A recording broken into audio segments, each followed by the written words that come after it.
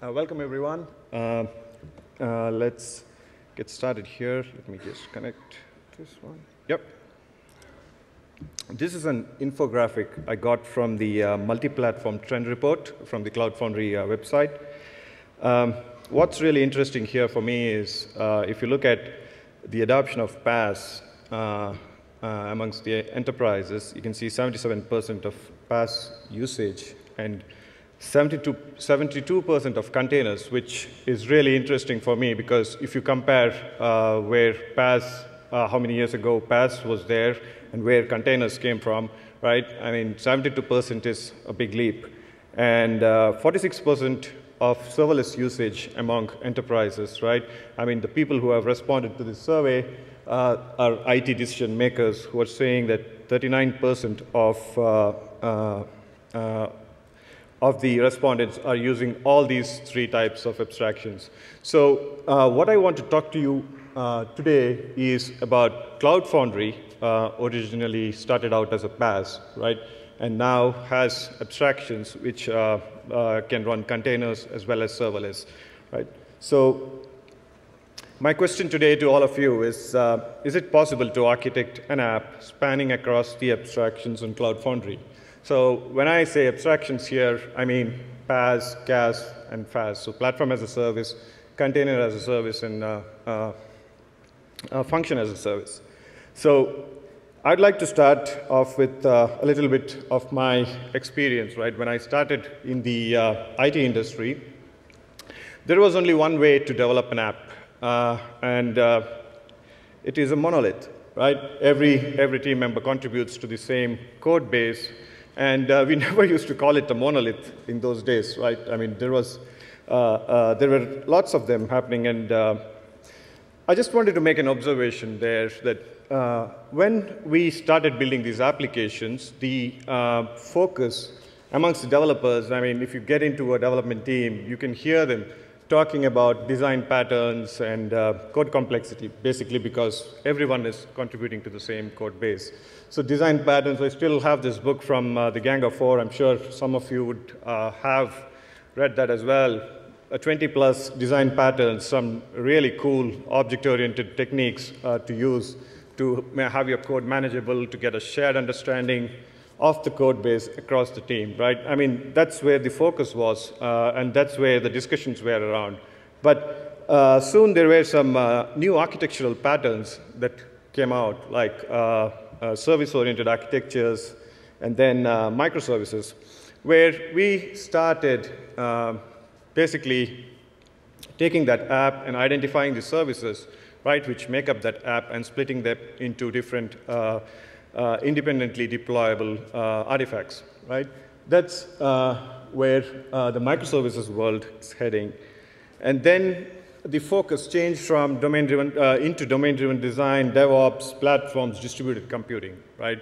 I mean, what's, what's really interesting for me is coming from uh, uh, developing monoliths during those years, and now nobody is talking about design patterns, having a shared understanding, because everyone is working on a really small code base, and uh, all they're carried, uh, all they all they are really uh, interested about is what interfaces do these services expose. They don't care about what the internal implementation of those services are. These are just observations I'd like to make. Then uh, uh, another observation I had was innovations in uh, cloud computing, basically driven by the cloud vendors like Amazon, Google Cloud, and Microsoft Azure. And also changes to the Linux kernel. I mean, innovations in the Linux kernel, the introduction of C groups, namespaces, and container technology in general has uh, actually given uh, rise to a, different abstractions called PaaS, CaaS, and FaaS. So PaaS is a platform as a service, as you all know. It's, it's really uh, built for uh, running stateless apps. So when I say uh, stateless apps, what I really mean is apps which uh, have externalized their state. They don't do any kind of uh, persisting to disk or any of those uh, activities. And also 12-factor apps, it's, it's set of guidelines how to make your app uh, you know, deployable on such uh, platform as a service. Then you have container as a service where it's, it's ideal for running your commercial off-the-shelf products stateful apps. For example, a stateful app would be if you're running some uh, machine learning workloads and uh, if it is Apache Spark, for example, it does most of its compute in memory, but when uh, there is no, uh, no much memory left, it has to spill to disk and write to disk. Such kinds of applications can run, and it's well suited for a container as a service, right? Even databases, you can see many of the database vendors now containerizing their applications and giving it out uh, for use. Then you have uh, function as a service, right? These are basically uh, you just push your function to the platform, and the platform takes care of uh, running the function for you. I mean, basically give it a URL, maybe a Git uh, URL, and it'll take that URL, build the image for you, and when an event comes into the uh, platform, it spins up uh, the container or whatever technology it's using, and to service that uh, event. So what, why I wanted to set this up here is because I wanted to just show that we have got the choice of now moving these uh, uh, services into these uh, different abstractions, right?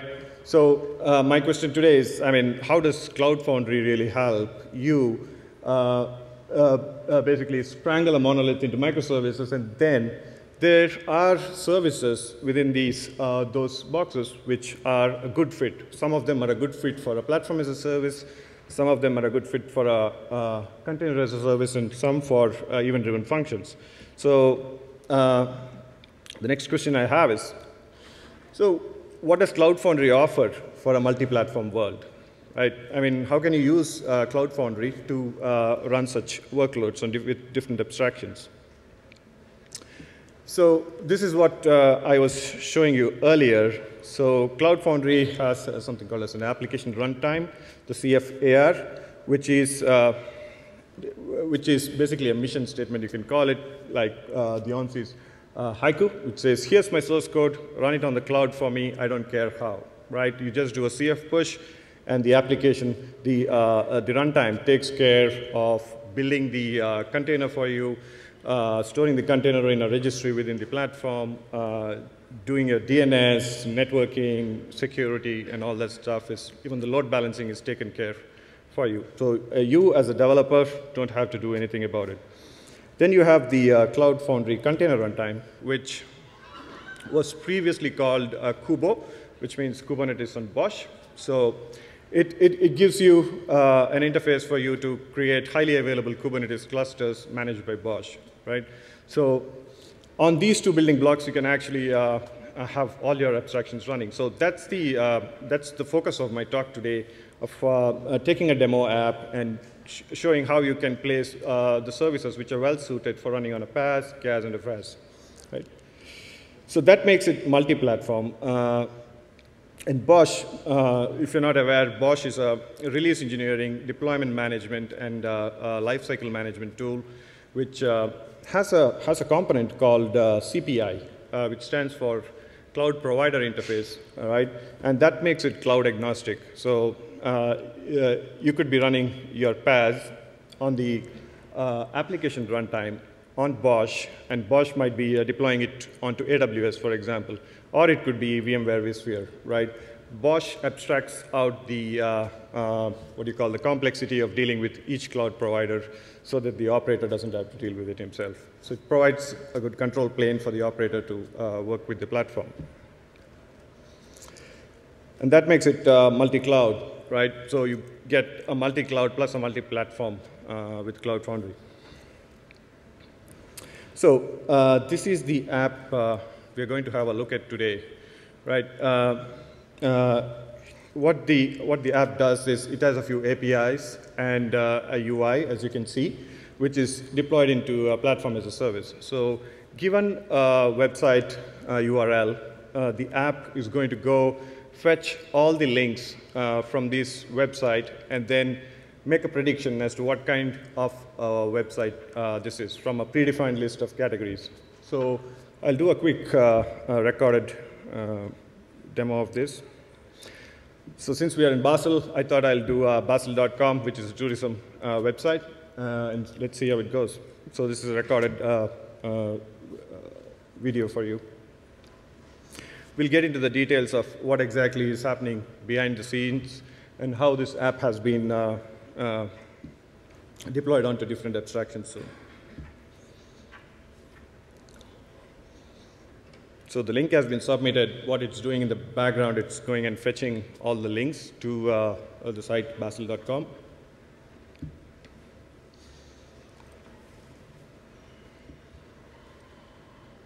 So you can see the words, I mean, it does uh, a little bit of uh, stemming and uh, uh before it submits it to the uh, machine learning module.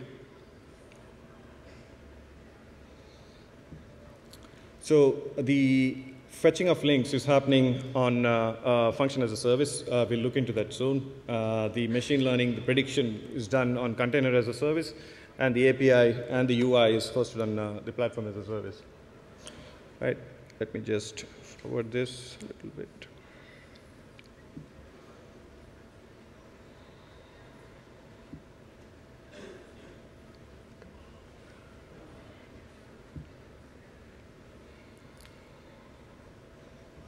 So it just predicted it as uh, a travel website, which is uh, pretty much right. So let's move on. Uh, I'd like to introduce uh, you to this team, right, uh, which is uh, called the WebCat team. So there are UX and uh, API designers here. Uh, the UI designers are uh, building their front ends. Uh, the API developers are uh, using Spring Boot, Node.js. They need a Postgres or Redis cache. Uh, they use a platform as a service, which is a, which, so that they can go in and do a self-service kind of provisioning of their of their applications and their backends. Then we have the data science team, uh, right, with data scientists doing the uh, machine learning uh, work. They're doing their data science models uh, for this uh, prediction of the category of the website. Then you have the uh, data engineering guys on this side who are responsible for ingesting data into, the, into their environment, right, and also building the data pipelines here. So this is how the stack looks up, looks. The UI and APIs are using uh, Spring Boot and Node.js. Um, they're using their own uh, Postgres and Redis. And that's running on the uh, Cloud Foundry application runtime. Right? And the machine learning team is using Spark, which is running on the Cloud Foundry container runtime. And we'll talk about uh, the serverless and the event-driven functions. It's using Riff uh, plus Knative. Uh, and all this is running on BOSH, as I talk, mentioned earlier. Just uh, so that I can set the context here, I'm using a vSphere environment uh, with uh, uh Pivotal Cloud Foundry installed. Uh, uh, as you can see, I have a BOSH director there and the Pivotal Application Service and the Pivotal Container Service. So the application service is running on top of, it's basically Cloud Foundry application runtime. And the container service, Pivotal Container Service, is using the Cloud Foundry uh, container runtime. So uh, let's uh, do the uh, deploying of the front-end APIs onto the application runtime. So I'll have to uh, log into my VPN to do that, so just bear with me.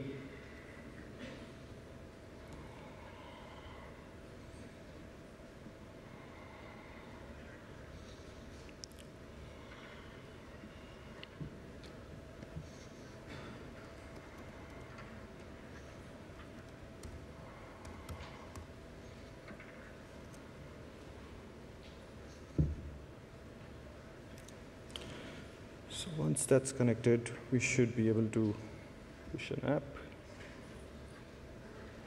Yep, looks like it is connected now. Okay, uh, yep. So the first step is I have this app here,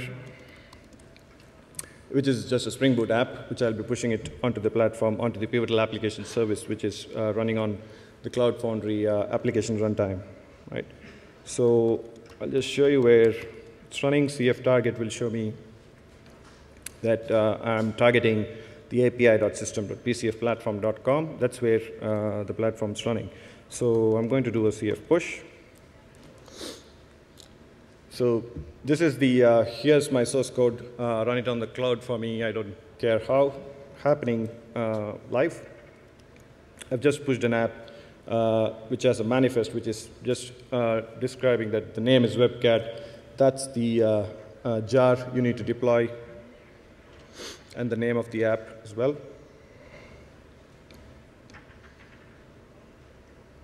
Once, as you can see, uh, I've just pushed an app, and it's the build pack detection and uh, creating a container or a droplet is taken care by the platform. And uh, even storing that into a registry is uh, it's done by the platform itself.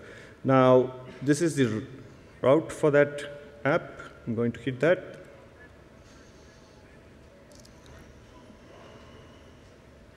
This is the uh, apps manager, uh, which would be showing me the app here. So this is just deployed. I can click on it. And if everything works, uh, I should be able to see uh, the UI. So uh, that's the first part of deploying the application. Now let's look at the second part of deploying the uh, machine learning workloads, right?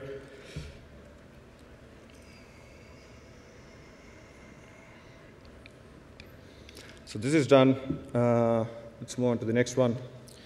Uh, deploying the machine learning workloads. So the first step is to create a Kubernetes cluster, right? Uh, using uh, PKS the command line tool. So I'll uh, speak briefly about uh, the PKS tool. So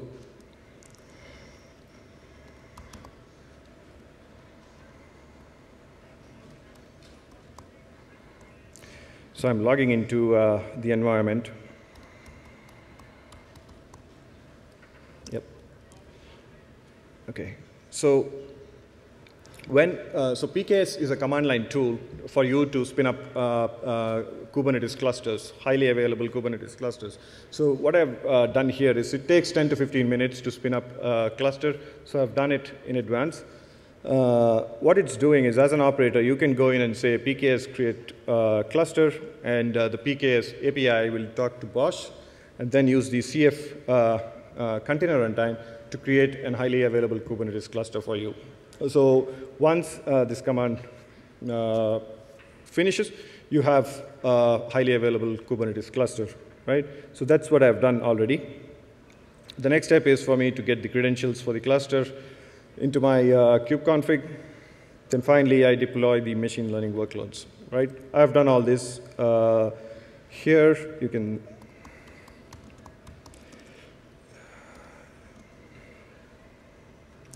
kubectl. So you can see there are a few uh, namespaces here. Uh, you can see there's one called machine learning workloads where I have deployed my uh, pod.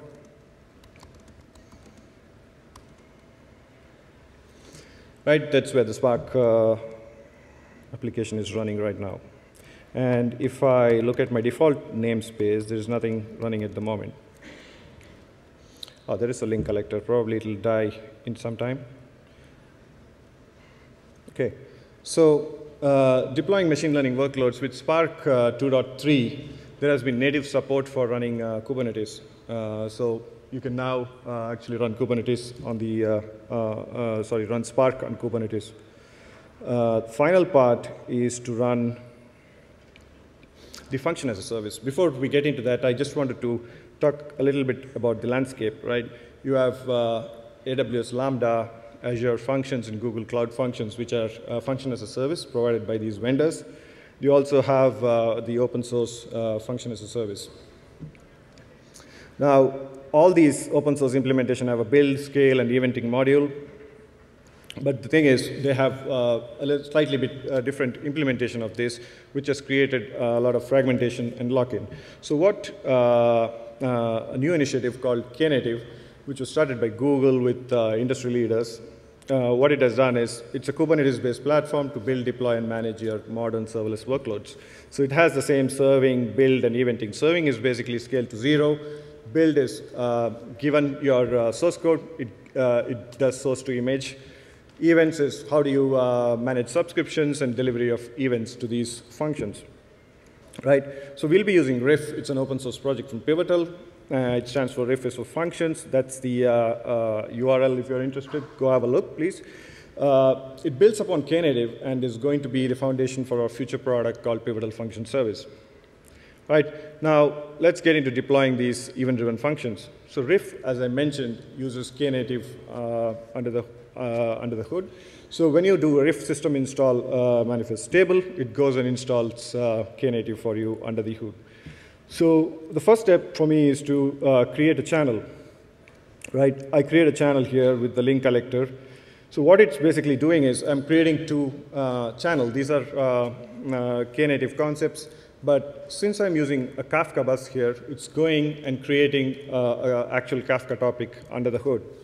Right? So once I create these two channels, I'm going to have my function code deployed. So I'm saying uh, RIF service create a link collector, and I'm uh, saying that's the image you need to use when you start uh, uh building the, uh, uh, when there's an event, you need to start up this container. Now, the last step is connecting the dots, right? I mean, our you do a subscribe, RIF service subscribe, and say that, okay, link collector is my uh, input, and whatever the uh, CATS link collector service returns has to go into a different uh, uh channel. Now, RIF hides all the complexity of the YAMLs and all those things which you need to create and uh, makes it really simple for you to uh, build this pipeline. Now, so this is the RIF command line. So if I do a RIF channel list,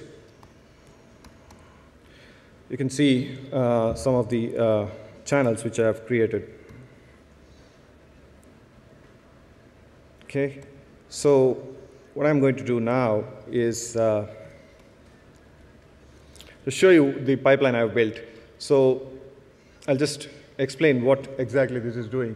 Initially, when I go and submit a link, uh, a link goes into the link collector, which is picked up by the CATS link collector service, and it goes and says, okay, Basel.com has 138 links, the, the link fanout channel, and it puts those 138 individual links into the link fanout channel. The link fanout channel picks it up and puts it into the link crawler channel, which, in, which starts going and crawling these sites individually, uh, uh, the URLs individually. And finally, the CATS link crawler is putting that data into the link crawled channel. Basically, these are all going into a Kafka topic, right?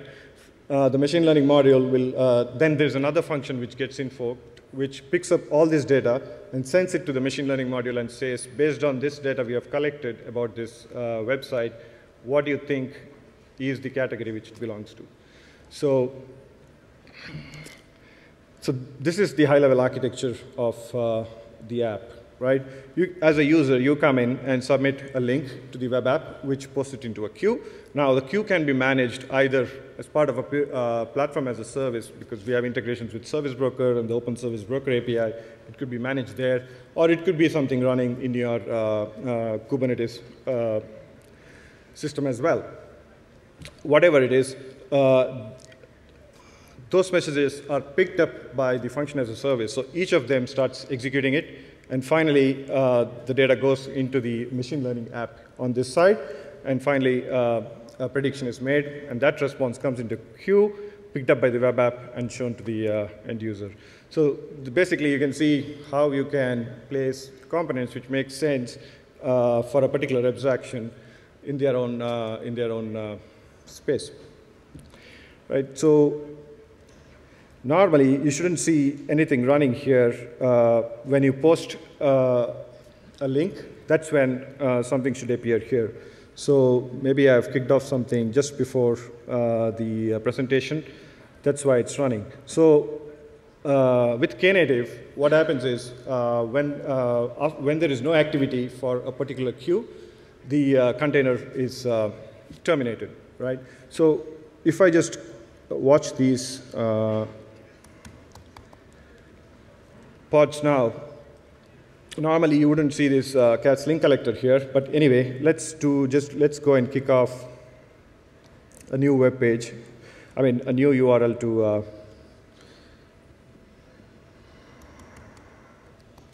and then I'll switch to the uh, console view so that you can see the uh, event-driven functions starting up uh, in response to the event.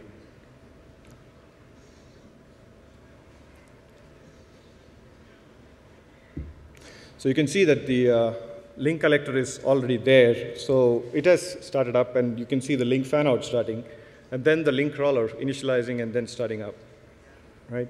So these are the event-driven functions which are happening in the background. They are going to crawl, and you can see those uh, responses coming in uh, in some time for all these uh, links, right?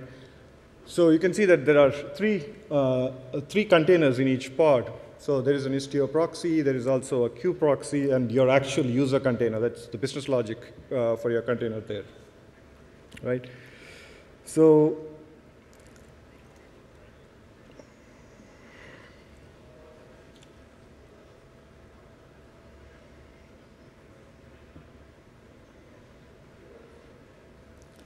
Fortunately, this is not a recording, so I can't fast forward this, so it's going to take some time.